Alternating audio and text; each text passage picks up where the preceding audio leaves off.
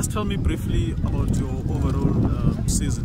Right, uh, David Bayne here, Technical Director of Atlantic Nacional. Obviously, it's been very disappointing and frustrating uh, from a from an aspect of we finished second bottom. Um, uh, we didn't help ourselves throughout the season and have no one else to blame but ourselves.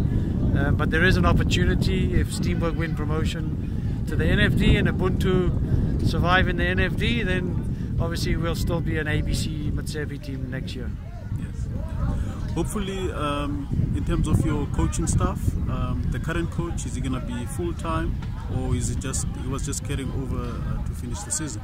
No, obviously he's only joined us in the last, uh, I think, month to five weeks, and um, so obviously a meeting will take place, and uh, uh, and things will be decided once uh, we see where we're going to be, whether we're going to be an ABC team or um, hopefully not an, an SAB.